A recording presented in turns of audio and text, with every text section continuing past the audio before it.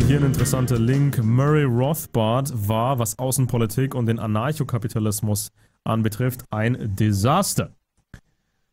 Also, äh, libertäre Gedanken äh, zur absoluten Karikatur verzerrt. Hier ein interessanter Link. Murray Rothbard was a disaster.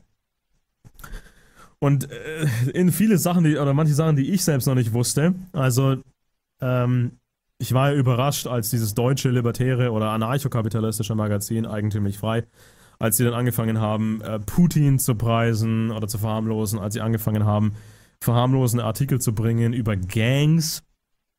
Ich habe gedacht, was, was, was soll das denn jetzt auf einmal? Und natürlich kommt es mir dann im Nachhinein, das ist alles die Fortsetzung von Murray Rothbard.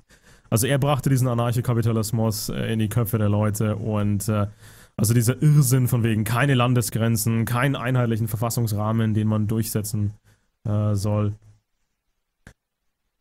und so weiter.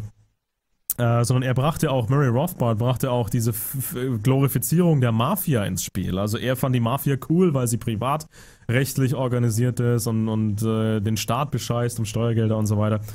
Ohne wirklich in den Kontext zu rücken, die Mafia ist kriminell. Sie, sie stiehlt, sie betrügt, sie unterschlägt, sie erpresst.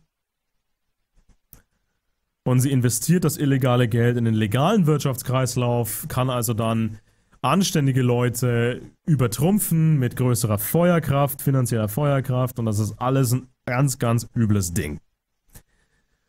Also wie immer, dieses krankhafte Schwarz-Weiß-Denken. Alles Staatliche ist böse. Jede Verfassung ist böse, jede republikanische Grundordnung ist böse, jede Landesgrenze ist böse, jeder Gedanke einer Volksgemeinschaft ist böse.